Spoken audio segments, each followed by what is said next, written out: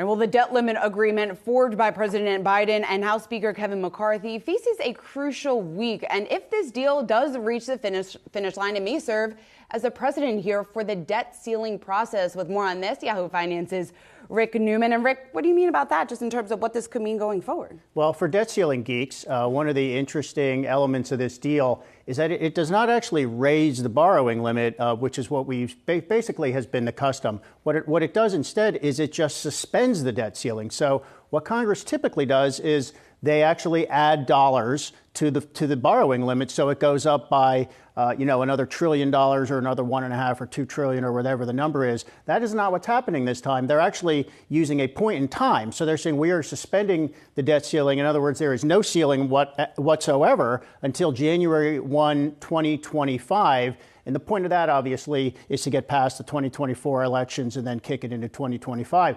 But what I see there is a big opening because if you can just suspend the debt ceiling, then you can just repeal it altogether. So if Congress can say we're going to su- suspend it for a little while, my contention, and there are many analysts who feel this way, is why don't you suspend it forever? Just get rid of the whole stupid thing so that we wouldn't have any more debt ceiling showdowns, which have become self defeating in, in their own right. I mean, we've talked on this show many times. We've seen an increase in short term borrowing costs for the United States because of the very uh, showdown that we saw this week. So the thing itself, the debt ceiling itself, has actually driven up borrowing costs for the government when what they're trying to do uh, theoretically is address this national debt. They're actually making it worse. So it, it has become, uh, it is completely self defeating at this point. It serves no useful purpose. There are many analysts I've written about this who will tell you this. Um, we should just get rid of it. And maybe if we're lucky, that's what Congress will do in 2025. Yeah, a number of economists are saying that we should get rid of this. Rick, what do you think about this deal right now? The fact that it would extend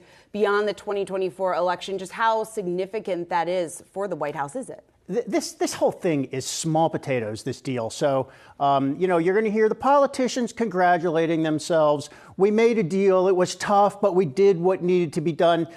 They, they could have just raised the debt ceiling without any of this. So, I mean, to get a little bit into the details, it, it only it's going to freeze spending for only 15% of the federal budget. So, 85% of the whole federal budget is exempt from this deal. They did absolutely nothing to address the real problems, which are uh, mostly it's health care costs, but it's also Social Security. The three big programs are Social Security, Medicare, and Medicaid, almost untouched. Social Security and uh, the other one completely untouched.